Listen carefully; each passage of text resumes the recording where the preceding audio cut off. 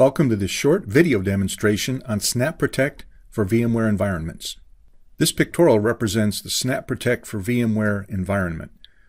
SnapProtect software is virtualization aware, providing automatic VM discovery to prevent accidental data loss. SnapProtect software uses integrated vStorage APIs, enabling file, image, or incremental level restores.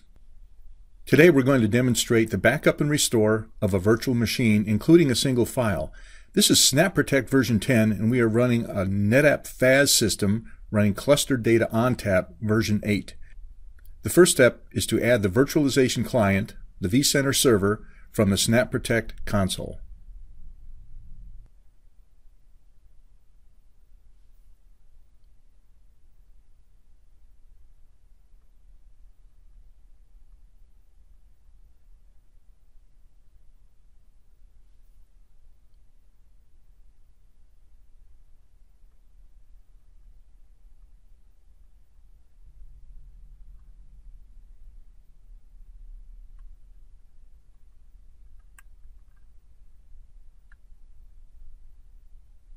Now we'll create a new subclient.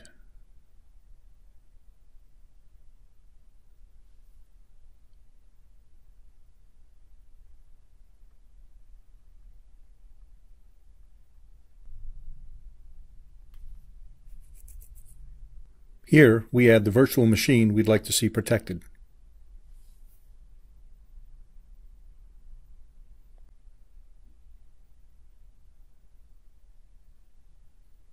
Now we add the proxy server, the server on which VM resides, and find and add a storage policy.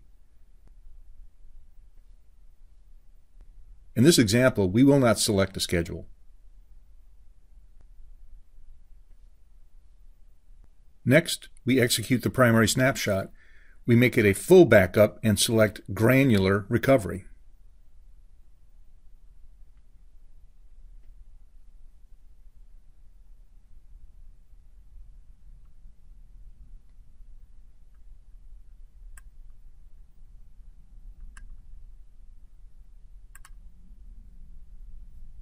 And here we see the progress of the backup. Now we'll create an auxiliary copy to perform the SnapMirror operation. This copy will reside on a different storage controller.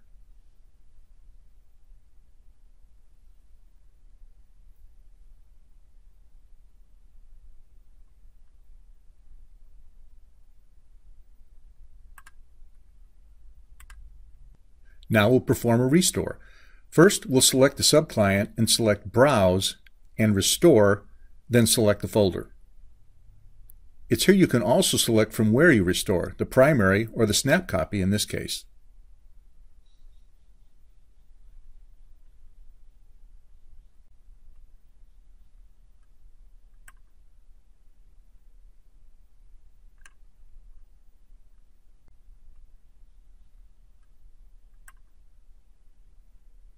Here, we'll select a folder on the C drive for restore, and we'll create a new folder to restore to and call it Restore 1, and go to the job controller to see the progress.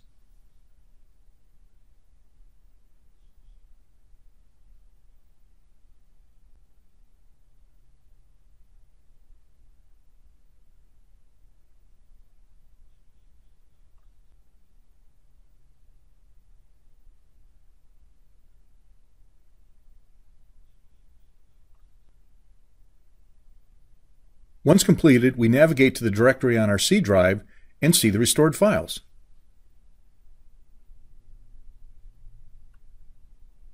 So to conclude, we've shown how to back up a full virtual machine and how to restore a file from that VM.